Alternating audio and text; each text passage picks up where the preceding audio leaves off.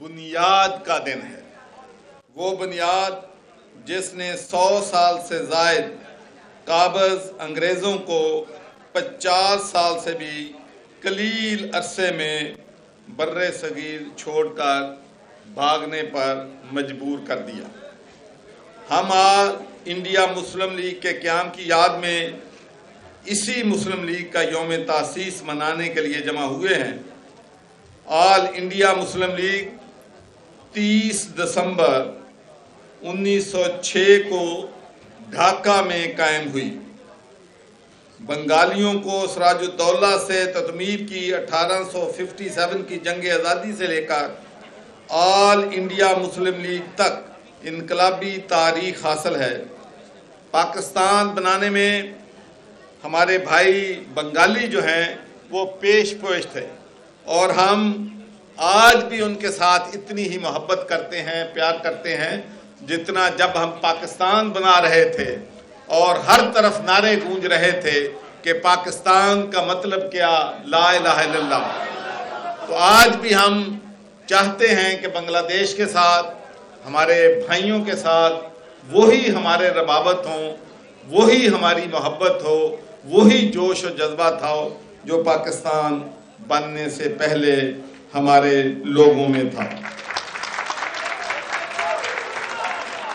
और आपको ये भी मालूम है कि हमारे बंगाल से, माशाल्लाह, तीन प्राइम मिनिस्टर जो हैं, वो रहे हैं। उसमें हुसैन, शहीद सोदवर्दी साहब हैं, ख्वाजा नाजमुद्दीन साहब हैं, और मोहम्मद अली बोगरा साहब हैं, जो कि पाकिस्तान के वज़ीर आज़म रहे। तो हम इन चाहते हैं कि हम दोनों बरदर ममालिक में ताल्लुक जो हैं, वो मज़बूत हों। और मैं आपको ये भी बात शेयर करना चाहता हूँ कि अब वक़्त की ज़रूरत है।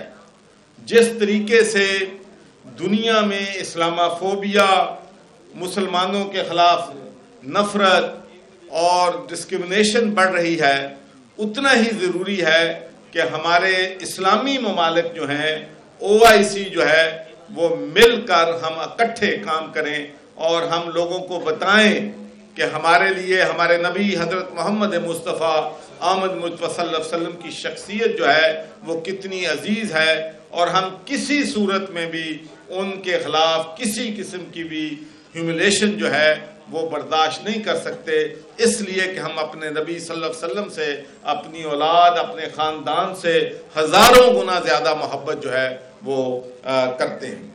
तो हमें मुसलमान मुल्कों को एक प्लेटफॉर्म पे आना पड़ेगा। हमारा और बांग्लादेश का मज़हब एक है आर्ट कल्चर एक है हमारी तारीख एक है। और आज जो इंडिया में मुसलमानों पे और ख़ासकर अकलीतों पे जो जुल्म और सितम हो रहा है, उससे आप अंदाज़ा कर सकते हैं कि आल इंडिया मुस्लिम लीग ने और कैद आज़म मोहम्मद अली जना ने और अल्लामा इकबाल ने पहले ही सोच लिया था कि मुसलमानों को अपना अलहदा मुल्क जो है वो बनाना पड़ेगा। लेकिन उस वक्त ये कहा गया था और पाकिस्तान बनाने में जो इंडिया में रहने वाले मुसलमान हैं, वो भी इतने ही ज़ोर शोर से फाइट कर रहे थे जितना बंगाल और पाकिस्तान में लोग पाकिस्तान के लिए जद्दोजहद कर रहे थे। और कैद आज़म मोहम्मद अली जना से किसी ने पूछा था कि पाकिस्तान तो बन जाएगा, लेकिन जो लोग या जो मुसलमान इंडिया में रह जाएँगे, उनका क्या बनेगा?